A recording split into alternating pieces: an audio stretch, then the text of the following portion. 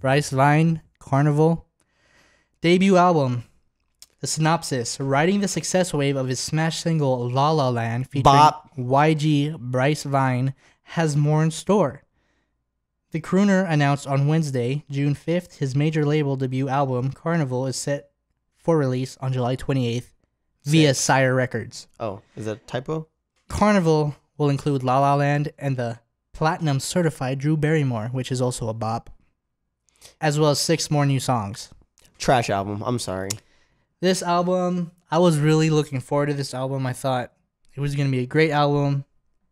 I was thoroughly let down. Yeah. I mean, it's smart putting two of your biggest songs that you're ever gonna have, probably. Rusted it. Yeah. Well, It's not going to be his biggest songs, but it's yeah. It's it still is his biggest biggest. song, though. I think losing control is still yeah.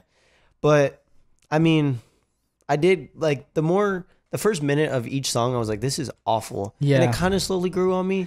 So the beginning was definitely trash. Oh yeah. The last, second to last song was like, oh, the first song you didn't like? Mm-mm. I didn't mind it. no. No. like I said, the first like the first minute of every song was like, oh god, why am I listening to this? But then it kind of grew on me, so I'm thinking maybe the album will grow on me. I might listen to it again since it's only That's like, what I thought. like, Also, there's like eight songs on it, nine songs, or something like that. I was gonna, I was gonna re-listen to it before bed, but I was like, hmm, I don't feel like I'm it. gonna fall asleep to it. Yeah. So, like I said, it might grow on you. It might grow on me. Probably one of those albums. You grow on me for sure. Oh, no. So Top top three. I put the first song, "Classic and Perfect," at number three.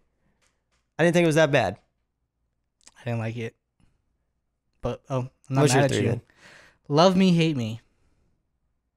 You probably don't remember. Yeah, what song that is. exactly. See that that's the thing with the album. Like you, the songs have to stick out. and they don't. That's and then I didn't want to do this, but like you, You said, had I no could, choice. I had no other choice. So Drew Barrymore's number two, and then La La Land's number one.